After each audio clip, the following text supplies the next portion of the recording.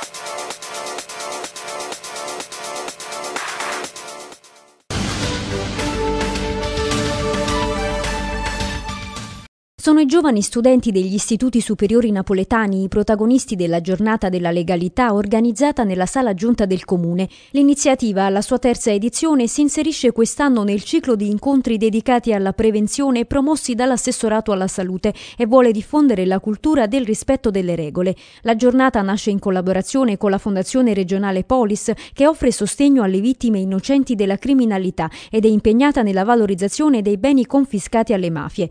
In, in, questi itinerari di percorsi di legalità noi incontriamo tantissimi ragazzi e non sono ragazzi che vengono portati per così dire all'ammasso no? senza sapere cosa vengono a fare, sono ragazzi che riflettono, che si informano, che eh, si rendono consapevoli di quello che accade intorno a loro e lo fanno insieme a noi e molto spesso lo fanno anche insieme ai familiari delle vittime. Queste visite in comune servono anche e soprattutto ad approfondire e a rendere più forte questo legame per far crescere nei nostri giovani appunto il senso civico del rispetto e della conoscenza dei meccanismi istituzionali e dell'istituzione stessa.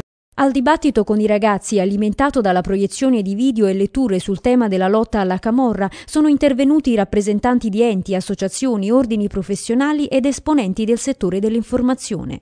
Informazione e legalità devono marciare di pari passo, oggi siamo qui nel comune, con il comune, la regione, la fondazione Polis, con tanti giovani, le scuole.